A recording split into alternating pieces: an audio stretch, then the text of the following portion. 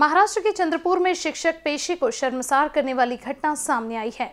पचपन वर्षीय शिक्षक पर छठी कक्षा में पढ़ने वाले तेरह साल की छात्रा के साथ यौन शोषण का आरोप लगा है। घटना चंद्रपुर के बल्लारपुर थाना क्षेत्र की है। छात्रा की शिकायत पर पुलिस ने आरोपी शिक्षक को पॉक्सो एक्ट के तहत मामला दर्ज कर गिरफ़्तार कर लिया है।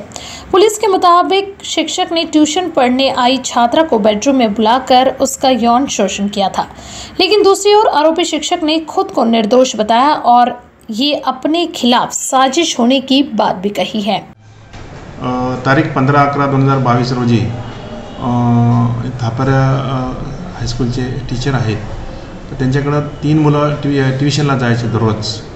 आणि आता एवढ्या दिवाळीच्या सुट्टीनंतर आताच ट्युशन सुरू झाली होती. तर त्यामध्ये दोन लहान मुलं होती आणि एक मुलगी होती तेरा वर्षाची. तर पंधरा तारखेला आणि सोळा तारखेला त्यांनी काय केलं की ते शेतावर टे ट्युशन घ्यायची. तिला खाली बोलावलं. तिचं स्तन दाबून आणि स्कीज घेऊन त्याचा इनयभंग केला.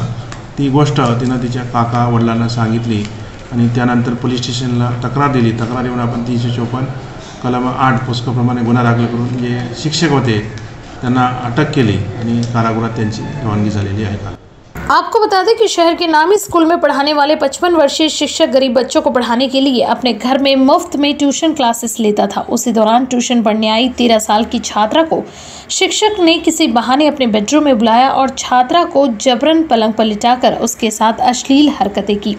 इस पर छात्रा ने विरोध किया और वहाँ से चली गई, लेकिन दूसरे दिन भी शिक्षक ने छात्रा के साथ वही हरकत दोबारा दोहराई।